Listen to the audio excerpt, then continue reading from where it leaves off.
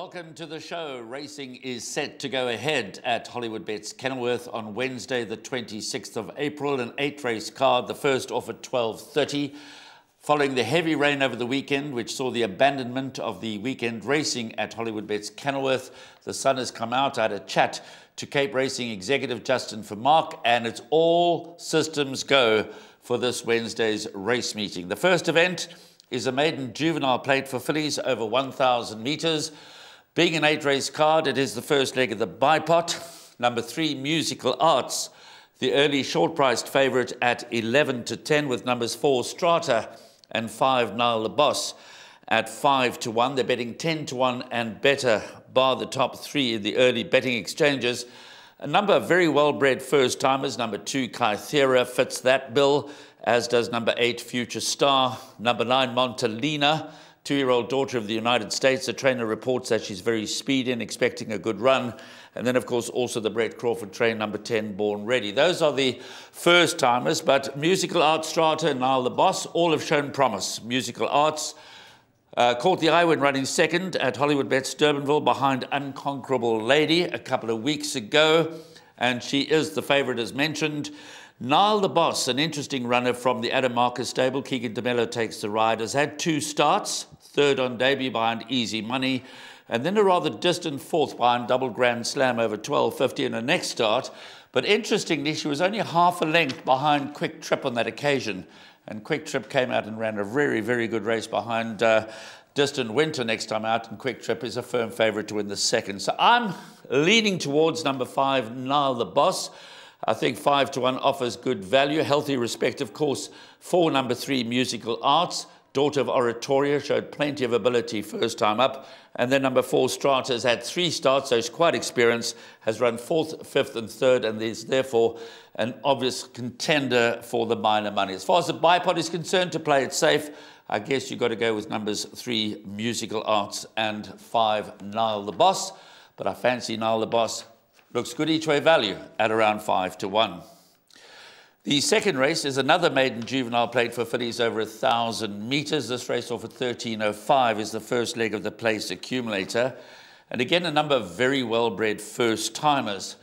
The very short-priced favourite is number 11, Quick Trip. She's at 11 to 10 in the early betting exchanges, ran third behind Double Grand Slam on debut and then a very, very good second behind Distant Winter last time out. Distant Winter was backed into 4 to 10 to win that race on the 11th of April. She was pressed all the way to the line by number 11, Quick Trip, who showed fine natural gate speed. The third horse on that occasion was many lengths behind them.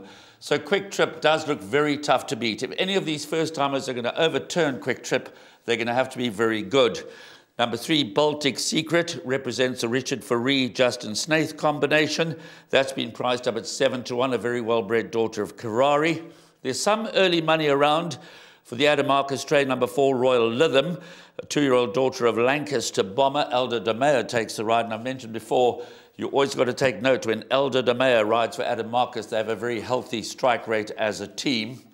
And then Candice Bass Robinson sends out number eight, Beach Bomb who's by Lancaster Bomber out of that great race mare, Beach Beauty. Craig Zackey writes for Candice Bass Robinson, the jockey arrangements would suggest that Aldo Domeyer prefers the chances of number four, Royal Lytham, on this occasion. But they're going to have to go some to beat number 11, Quick Trip.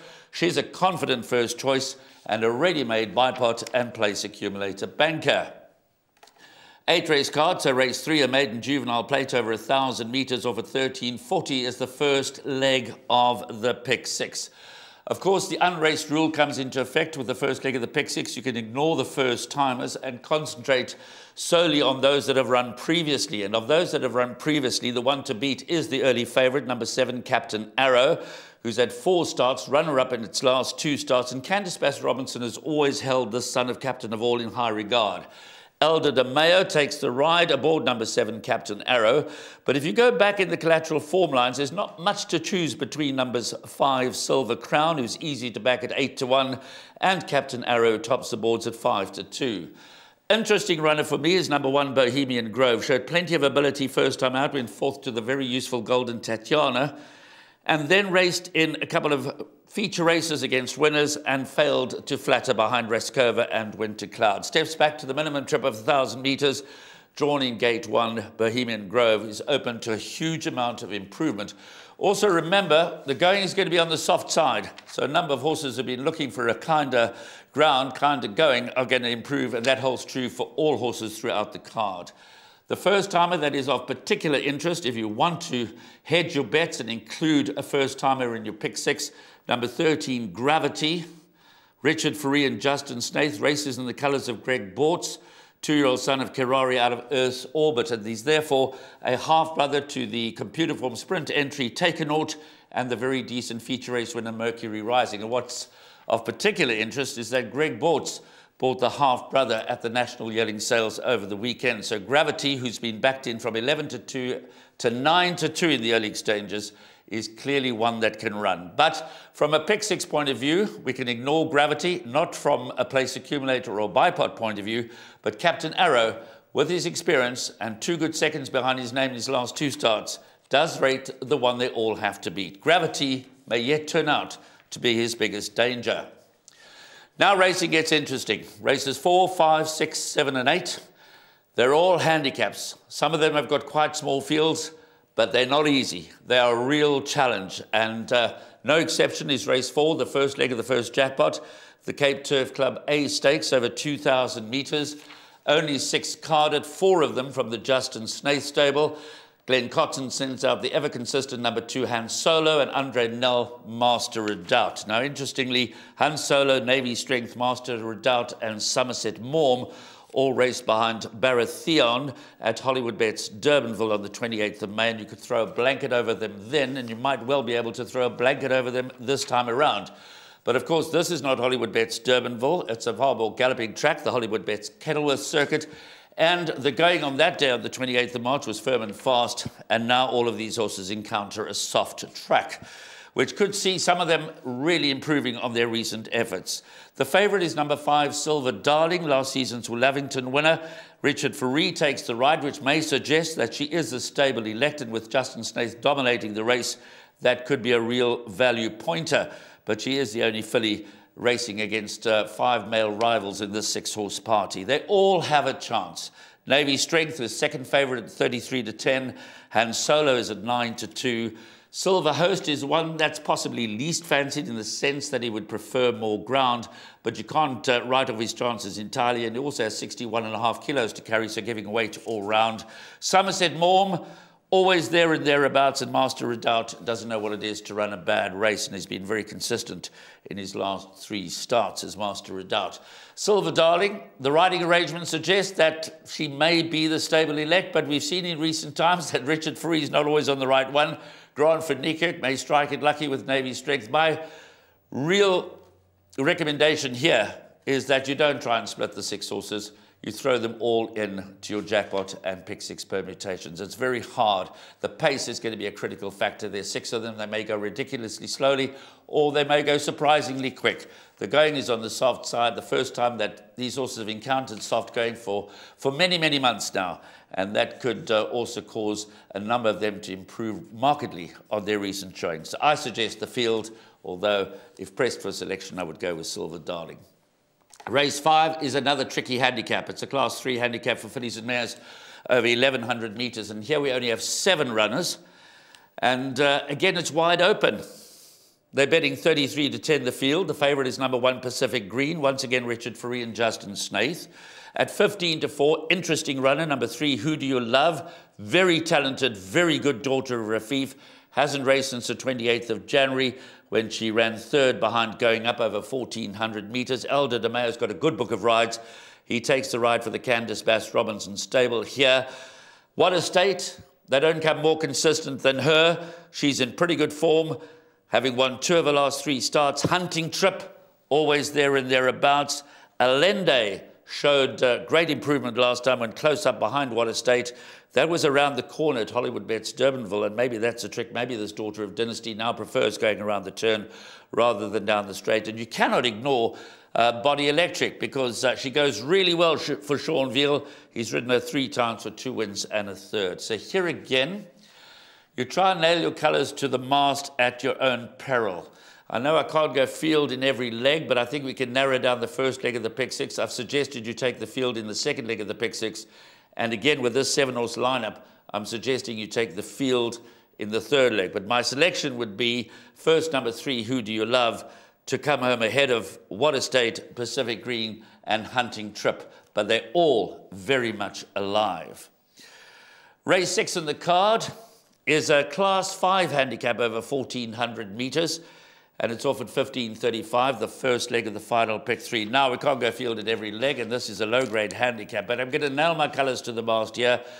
And I'm not the only one. Brandon Gayard has made, like the clappers, his nap for the day, and I'm going to do the same. He's always been well regarded, this four-year-old son of Pomodoro. He's likely raced. He's only had six career starts.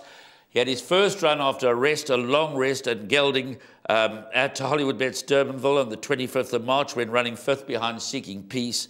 He then stepped up on the 11th of April to run second to the impressive winner Slurricane. And uh, this will be his third run after rest, third run after gelding. Richard Fourie writes with Justin Snaith that drawn in gate seven should appreciate the sting out of the ground, has run on this type of going before, has been priced up favourite 22 to 10. You've got to, you've got to structure your bets uh, as you see best, as you see fit. And having gone wide in races four and five, I'm happy to take my chances and banker number seven, are like the clappers in the sixth race. So, what are the dangers? Well, there are many, and that's the point. If you go beyond like the clappers, then you've got to go pretty much very wide, which is what I'm trying not to do in this race.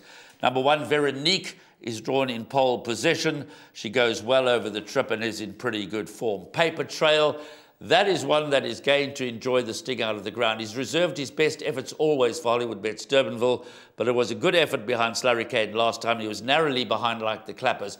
But given that like the Clappers is an upward curve, I do think that like the Clappers will confirm the form with Paper Trail. Fly to Rio, seldom puts a foot wrong, and Captive Moon found betting support last time, but was well beaten in behind like the clappers and paper trail, and there's no reason other than the change in the going to suspect that Captive Moon is going to turn over number seven like the clappers. So number seven like the clappers, one of the better bets on the card for me. And if you're searching on a difficult card with many handicaps for a jackpot and a pick six banker, then my recommendation would be number seven like the clappers in race six. Race 7 is a class 4 sprint over 1,200 metres, and again, it's a smallish field, but uh, 10 will face up the starter.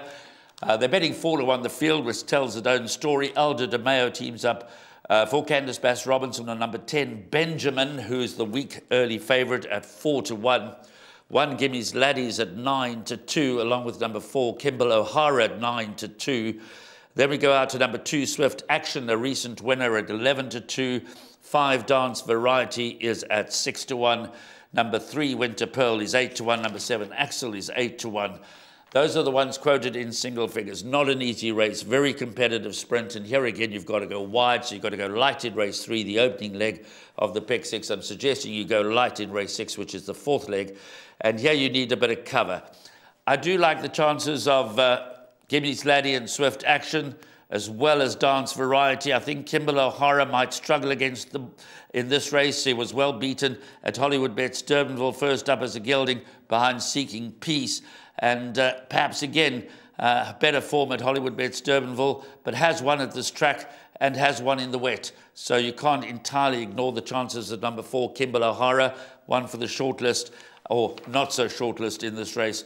And number 10, Benjamin, he's not the most reliable and he tends to get into the race when it's all over, but you've got to throw him in. So you've got to include at least all of numbers one, Gimmy's Laddie, two, Swift Action, four, Kimball O'Hara, five, Dance Variety, and number 10, Benjamin. But if you can include that many, then this is another race where you might like to consider the entire field. It's not impossible to go fields uh, in, in the second leg where it's a six horse race, field in the third leg where it's a seven horse race, and field in this race going light in the first and fourth legs. And perhaps moving on to the eighth and final race, which is a class three handicap over 1200 meters, perhaps we can narrow this one down to a few runners. I think number two, Beerenberg, is going to love the change in the going and deserves a victory.